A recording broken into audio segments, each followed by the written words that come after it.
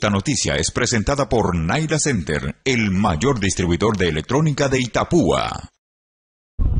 Nos encontramos en la terminal de ómnibus de la ciudad de Encarnación. Siguen los problemas para la municipalidad.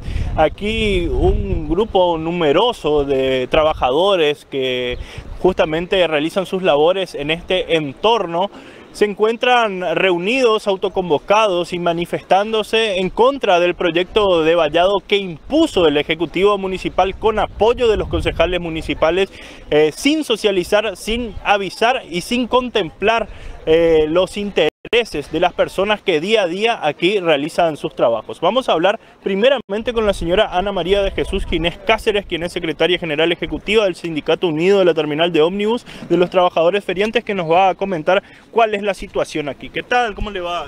Todo muy bien. Buen día a todos los presentes.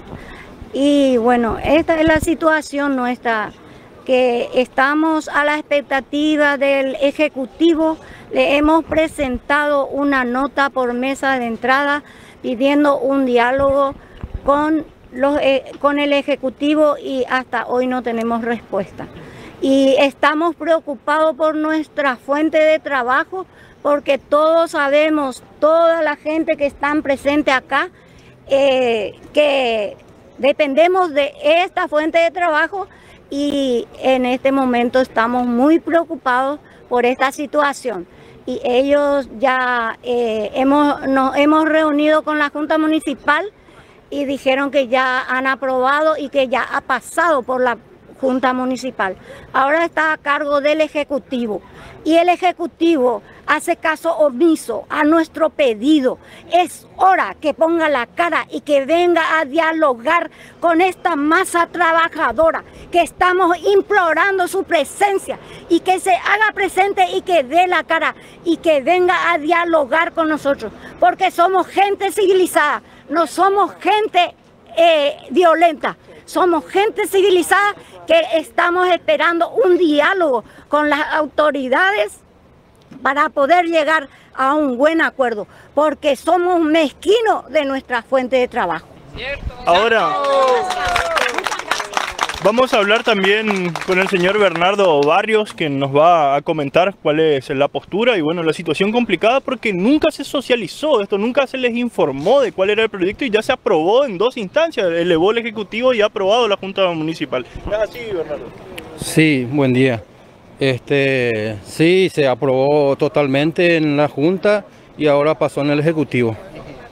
¿Cuál es el, ¿Alguien en algún momento se acercó a usted antes de que esto suceda a consultarle cómo iba a ser, a preguntarle, a informarle?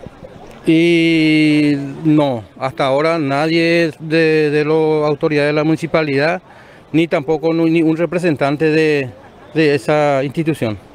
Ahora, ustedes se fueron, se reunieron con los concejales y dijeron que ya había pasado por ahí el proyecto y que ya estaba aprobado. Sí, nosotros no habíamos, ah, eh, no, no íbamos en, en, la junta y ellos dijeron que ya ellos no pueden hacer más nada porque ya están totalmente aprobados. Bueno, preocupación seguramente porque ustedes fueron muy afectados, muy azotados en la época de pandemia o vienen pasando momentos muy difíciles y que ahora se imponga un proyecto así que puede llegar a perjudicarlos, ¿los preocupa mucho? Totalmente, totalmente. Es, un, proyecto de ellos imprevisto sin avisarle a, los trabajadores acá de, esta, de este lugar, de la terminal de ómnibus, entonces estamos re preocupados por, por la vallada que ellos están planteando poner. Entonces nosotros hasta hoy no tenemos ni, un, ni una respuesta, ni un...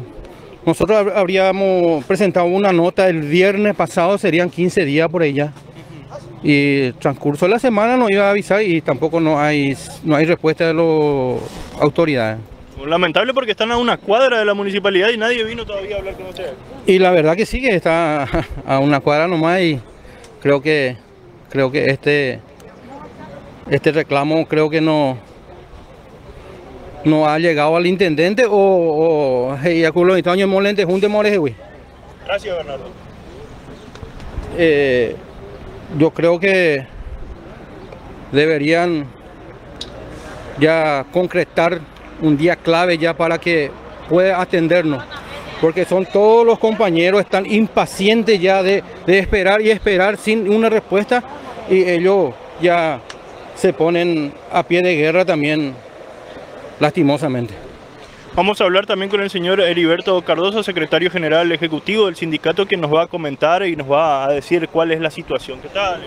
Buenos, eh, buenos días, bien. Eh, justamente nuestro apoyo acá a la federación, porque somos un equipo de trabajadores y nuestro deber es justamente eso, estar al lado de los trabajadores y trabajadoras que, por cierto, como encarnaceno también me, me afectaría eh, bastante saber de que se va a privatizar o se va a tercerizar nuestra terminal, a quien nosotros le tenemos acá ya como raíces. Entonces no podemos permitir que nuestra gente, nuestro vecino, nuestros comprobanos no tenga acceso al expediente de los trabajos que se va a realizar acá en la terminal. Por eso queremos dar un rotundo no también a la gestión de la Junta Municipal que no le quiso recibir una nota a esta gente es algo inconstitucional. Entonces, ¿para qué están ahí? Son bandidos, son gente eh, mediocre que solamente está para respaldar a lo que tiene plata y la gente humilde trabajadora va a estar ajeno de la gestión de la Junta Municipal. Acá yo tengo una nota que ellos no quisieron recibir y le reclamo acá uno de, de los concejales que le atienda a la gente de Encarnación. Ellos son nuestro representante legal. No puede cerrar la puerta, no puede cerrar ninguna nota que se remita en la Junta Municipal. Y esto a mí eh, no me extraña porque a nosotros también nos hizo así, pero también le vamos a salir.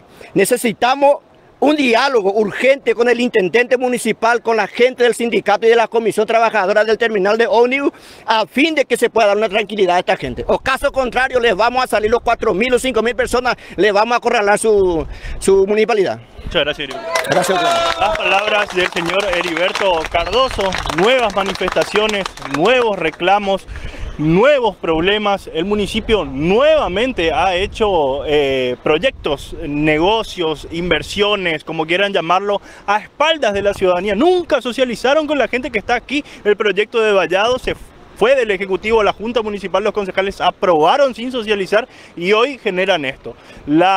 Eh, el reclamo de la ciudadanía ya no, no creo que tengan excusas para decir que es un grupo de ciudadanos, porque ellos son trabajadores aquí de la terminal que exigen hablar con el intendente municipal que está aquí a una cuadra, pero no tiene el valor para llegar hasta este lugar.